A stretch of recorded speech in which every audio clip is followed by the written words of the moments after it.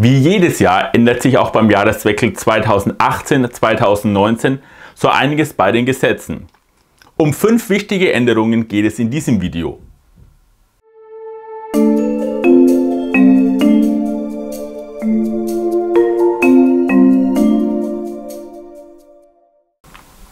Ich bin Achim, ich bin Rechtsanwalt.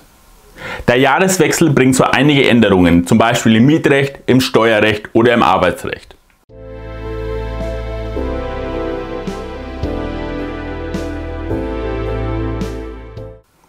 Die erste wichtige Änderung ist die neue Mietpreisbremse. Dazu habe ich schon ein anderes Video gemacht, das ihr euch gerne oben anschauen könnt.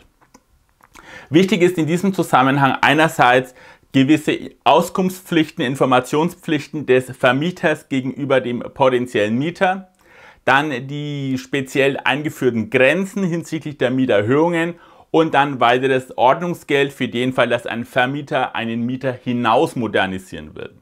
Wenn ihr euch genauere Informationen dazu haben wollt, schaut sie euch einfach im Video dazu an.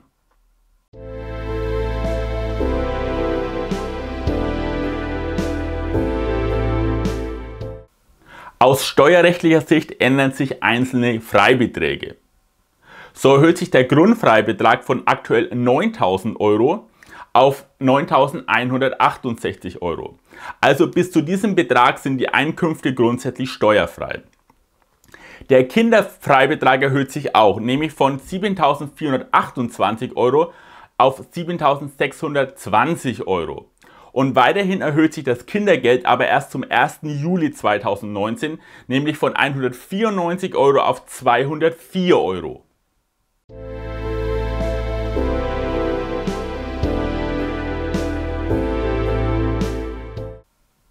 Ab 2019 gilt auch die sogenannte Brückenteilzeit. Das bedeutet, Arbeitnehmer können ohne Angabe von Gründen ihre Arbeitszeit reduzieren.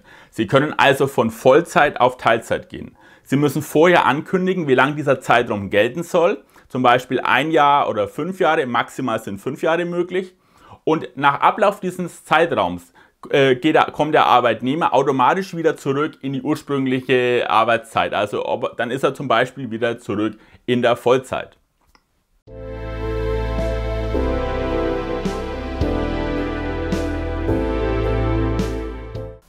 Auch beim Mindestlohn ändert sich was. Von den bisherigen 8,84 Euro brutto pro Stunde geht es hoch auf 9,19 Euro brutto pro Stunde.